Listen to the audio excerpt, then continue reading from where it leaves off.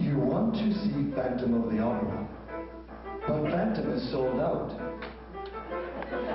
You want to see Les Miserables, but you can't pronounce the title. Then see the show that's not quite as good, but just as long and dimly lit.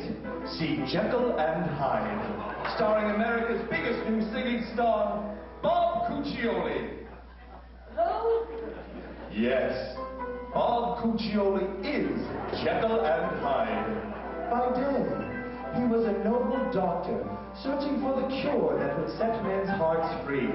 By night, he murdered, performed in a trashy musical murder mystery.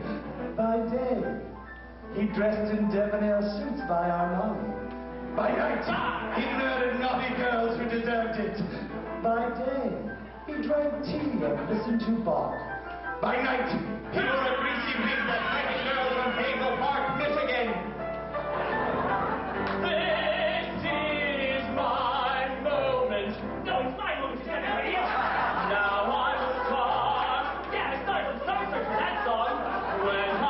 screaming, screaming, and screaming, I'll go. As far as I can tell, we'll both be out of a job in a week.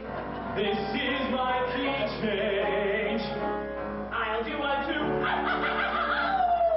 I'll do it higher. Any note you can sing.